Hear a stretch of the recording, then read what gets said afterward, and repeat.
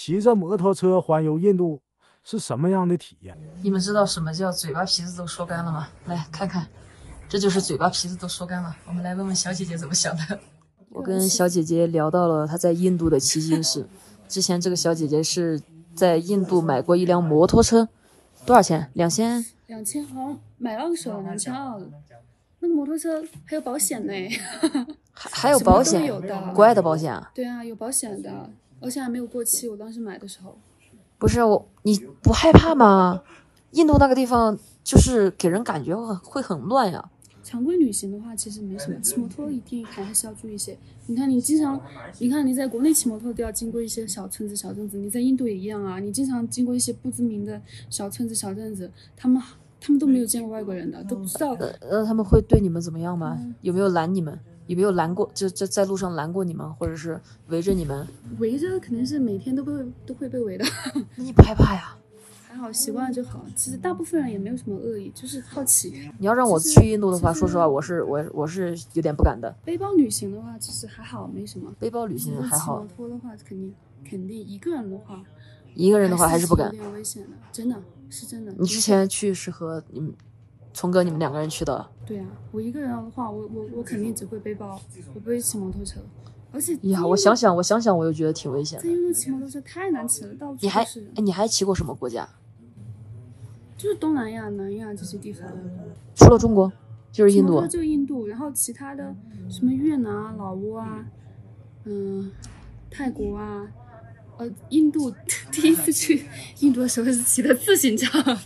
哦，你去过去过几次印度？两次啊，第一次骑自行车，第二次骑摩托车。厉害！我就是因为我跟你说，要不是疫情原因的话，我现在肯定在国外。对啊。因为东东南亚那边的冬天很舒服的，对，待着很舒服，而且东南亚的物价比较低。我之前要是没有疫情的话，我现在肯定在中东，就非洲。中东。对啊，我我之前一直就是想骑那条线的。以后疫情结束了，带我一起。好，一起。我给你拉装备。你说我这个三轮能开到国外去吗？可以啊。它会不会坏？你你会修车吗？我不会啊。那要是车坏了怎？车在国外坏了怎么办？一般来说没有很大的问题，你会一些小小问小毛病处理就可以了。大问题自己又处理不了，只能。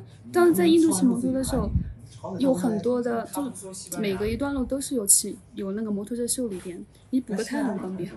我觉得要是去国外的话，如果自己一个人没有队友的话，就就有点很心虚。我估计我还是不敢骑。其实还好。我以后这这两年不是因为疫情原因出不去嘛？我等以后疫情结束了，我也想出去逛一逛，出去走一走。稍微会点英语就行了啊！稍微会点英语就行了，没事。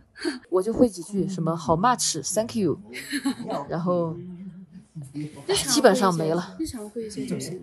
住店呀什么的都不会。这个没事的，没有问题，真的没有问题。小姐姐，我们谈的非常愉快。然后呢，现在是决定了，决定了过几天一起去山南林芝那边转一转。嗯，山南那边可以。就关键是我有电热毯，小姐姐比较心动。晚上对，还有晚上晚上睡觉不会不会冷了。然后我还有锅碗瓢盆，全都有。对，所以我觉得就我我就不需要带什么东西。对你不要不要不用带太太多东西，你要。就是带睡袋，帐篷、睡袋带睡袋什么的就可以。帐篷的话，你想带的话也可以带一个。到时候看吧。反正空间也不大。我就问你，我的这些装备是不是魔女界的天花板？必须的，真的真的，没有看过这么神的车，没有见过这么神的车，这么神的装备是吧？真的。最近准备了很多装备啊，因为两轮骑的太久了。骑两轮带的东西太少了，在户外的可玩性真的是太小了，玩的久了就觉就会觉得特别累。最开始的时候会觉得，哎呀，这就是我想要的生活，很好玩。包括这个女骑士简，刚刚我们聊天，她也会有这种感觉，因为你在户外，你看吃也吃不到什么，带的装备少了，住的也不舒服，时间久了人都会疲惫。我最近置办的这些装备，你们老说我有钱有钱。我其实觉得啊，真正的旅行一定是要有质量的。我为什么会花那么多钱弄那么多装备？其实我并不是什么有钱人，我家里也没有矿，都是靠做自媒体，在路上边走边玩养活自己。真正的旅行一定是需要一定的品质、一定的质量的。这些装备虽然很贵，但是能给人带来非常好的体验感。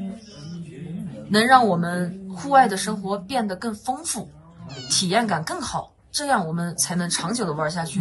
你一味的吃苦，一味的吃苦，苦到最后，哎呀，你停下来只会觉得停下来真香，你就不想不想再出来了。